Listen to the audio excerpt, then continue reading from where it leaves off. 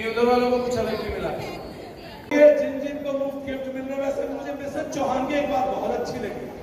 मेहनत करने से तो स्टेज पे नहीं आए गिफ्ट मिल रहा था तो सब ऐसे ही करेंगे जैसे उन्होंने यू